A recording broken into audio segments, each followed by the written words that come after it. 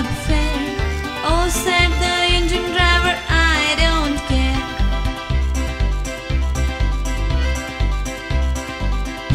On the railway line, picking up stones. Down came the engine and broke the piggy bones. Oh, said the piggy, that's not fair. Oh, said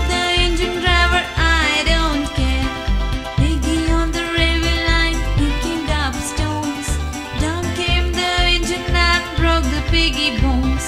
I said